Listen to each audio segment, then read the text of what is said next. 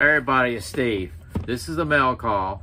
First box opening I've done on YouTube live. I've never, I always usually have everything opened up for you, save time and embarrassment of me opening up the box. But here we go. I wanted you to see the sleeve on this thing. I know it's a sleeve because I've seen some reviews on it. This is the Ka-Bar USSF, United States Space Force. Yes, it's for real. It's no joke. We all know Ka-Bar has fulfilled all the branches of the military. They still do.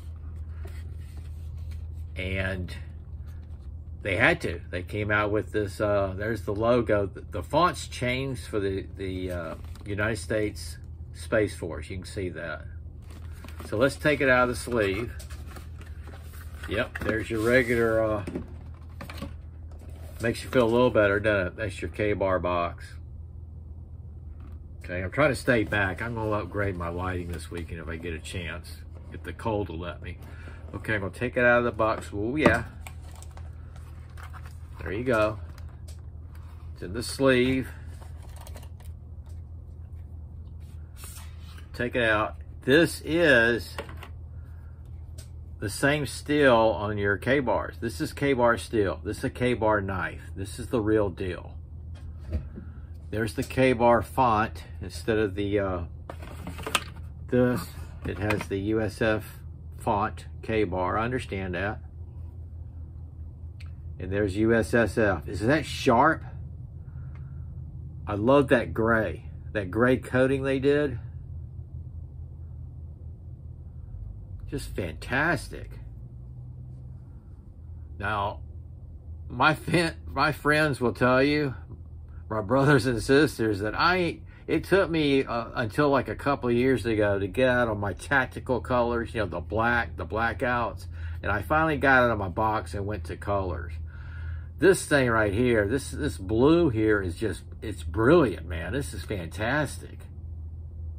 Nice and grippy too really grippy. There's the back end. There's the thickness.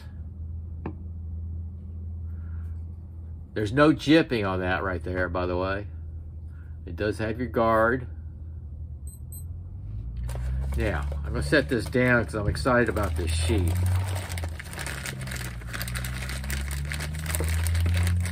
Rip it open here. Okay. Yep, gonna show me how to use it, but I already know how, how to use it because I saw some videos, but we know how to use it. This is a very nice Kydex sheath. I love the color. I like the gray and black. There's Ka-Bar on it.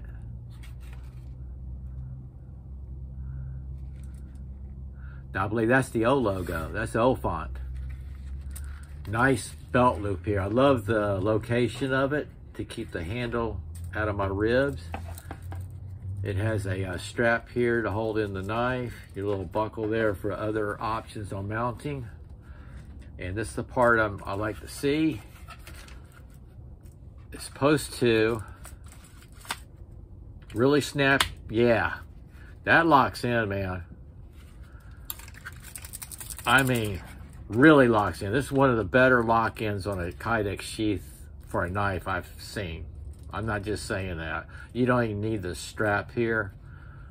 But while I got you on the, uh, if you're still here, it's taking me forever to do this review. Yes, yeah, it snaps perfect, fits great. Just want to make sure I'm not giving you false information there.